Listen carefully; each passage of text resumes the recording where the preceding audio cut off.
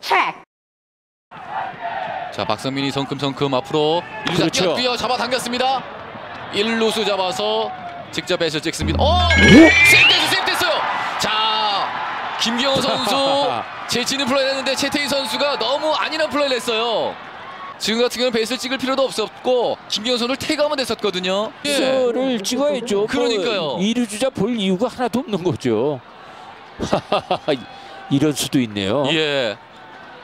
보고 전혀 생각을 못했어요.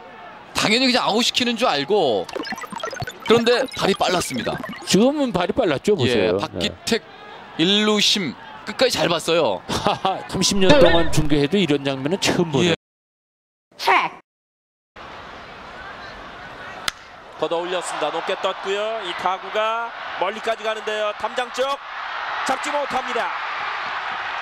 그러면서 자, 이 상황에서 지금 2루를 밟지는 않았어요. 어떤 판정이 나오나요? 지금은 그러면서 지금 밟고 지나가면서 다시 돌아가 보세요. 여기서 밟았습니다. 밟고 약간 미끄러졌군요. 네. 다시 돌아가다가 그냥 갔어요. 그렇죠. 그러면서 글쎄요. 자, 결국은 지금 예.